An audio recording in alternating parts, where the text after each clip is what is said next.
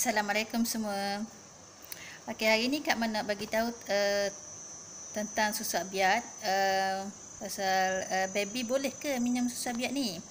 Okey, sebenarnya ramai rupanya customer susu abiat yang tak tahu uh, baby boleh juga minum susu abiat. Baby yang berumur 2 bulan kan, ha, yang boleh minum susu abiat, boleh sangat. Okey. Hmm kadang uh, yang uh, customer ni dia dia sendiri sebagai ibu lama dah minum susu abiak. Kadang yang 3 tahun 3 tahun lah minum susu abiak. Tapi uh, dia tak bagi susu abiak ke baby dia ke anak dia.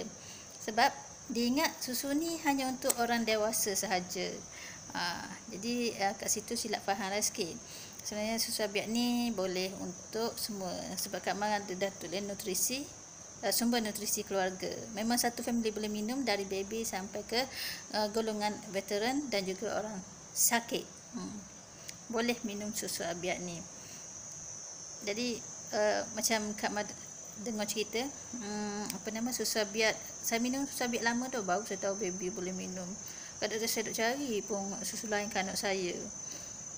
Puas cari-cari-cari susu baru baru tahu susu abiat sebenarnya boleh baby minum.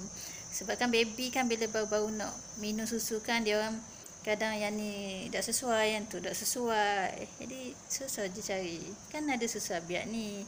Jadi minumlah susu abiat ni bersama-sama dengan baby awak. Okey?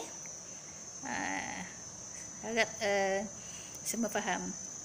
Kalau ada apa-apa pertanyaan lagi boleh WhatsApp ke Kak Mas sendiri 019 904 8312 019 904 8312 Okey, terima kasih.